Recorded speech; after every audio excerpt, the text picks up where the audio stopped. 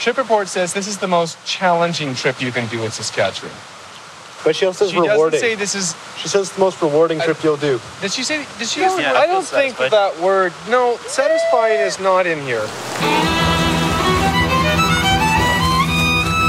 I invited my dad on this trip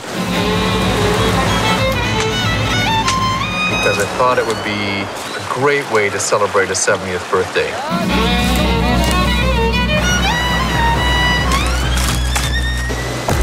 Realize now the reason I asked him to come on this trip is because I'm afraid that he's getting older. So maybe it's a bit selfish.